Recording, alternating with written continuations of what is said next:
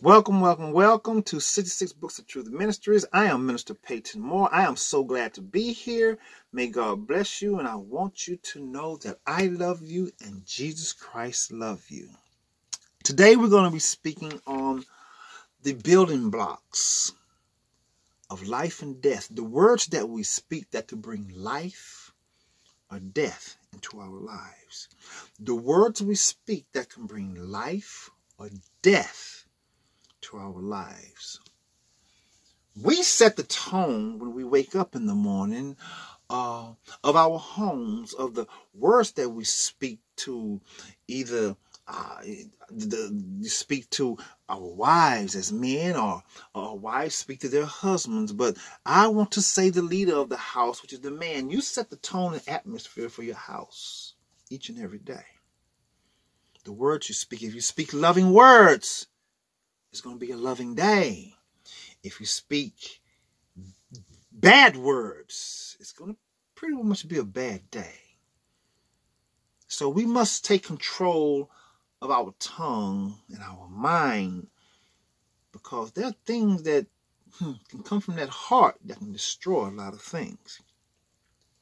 It goes on to say that, you know, the words that we use are building blocks and and they construct our life and future because the choices of words that we choose today determines our destination for today and the future your words set the cornerstone of your life, and you live within the confines of that boundary you create with the words that you use on a daily basis. Yes, we have situations. Yes, we have circumstances and different conditions. They are all subject to change, though.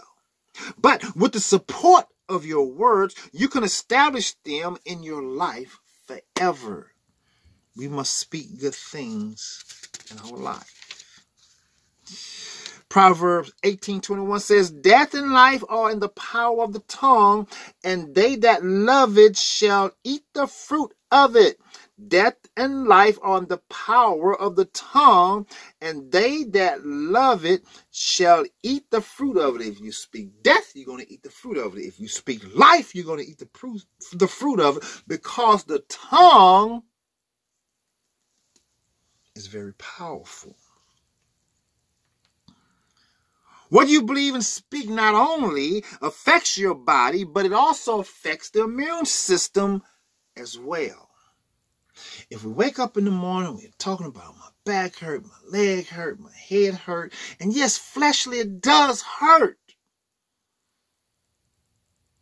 But we must learn to say, even though it hurt, I'm living. I'm good. I'm breathing. I can talk.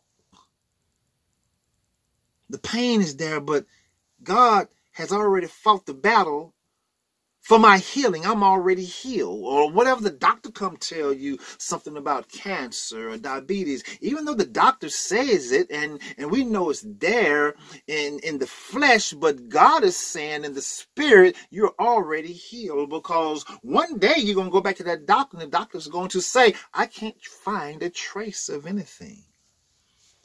I don't know what's going on here because you had the faith of a mustard seed. You just want to touch just a little piece of the cloth, a string of the cloth. And, and just for doing that, you made it through the crowd, just as the lady with the issue of blood, she made it through the crowd just to get a touch to be healed. But by her faith, she was healed. Your words become either a blessing or they can become a curse to you. Jesus put it this way He says, A good man out of the good treasures of his heart bringeth forth that which is good, and an evil man out of the evil treasures of his heart bringeth forth that which is evil, for out of the abundance of the heart his mouth speaketh. If you're a good man and you speak good words and you got good things treasured in your heart, you're going to say good things. But if you have this evil dark spirit within you and your heart is evil, you're going to speak You're going to speak dark, evil things, and that's what come out of your mouth. That's what come out of your mouth. Oh, it's one thing that we must learn that, that, that God's word is infused, it's engrafted into us. Into you by giving voice to the word of God with your own mouth. And this is the language of health to your body. To your body. We must speak good things so that we can be healed. We must speak good things because we know that we're already healed because God has already fought the battle. He already won. He's already won the war. Here's a few good scriptures that I want to give you today. It says, Thou shalt also decree a thing, and it shall be established unto thee, and the light shall shine upon thy ways. Job 22, 28. For verily I say unto you that whosoever shall say unto the mountain, Be thou moved, and thou cast into the sea, and shall not doubt in his heart, but shall believe that those things which he said shall come to pass he shall have whatsoever he said. Mountain, move. Cancer, out of here. Satan, get out of here. We must put our faith in God. We must believe in him. A man's heart, that was uh, Mark 11 23. Mark 11 23, the last scripture that I read. It says, A man's heart divisive the, his way, but the Lord directeth his steps. Proverbs 16 9. The man's heart deviseth his way, but the Lord directeth his heart. Hmm. Those are great words that we should always say these great words.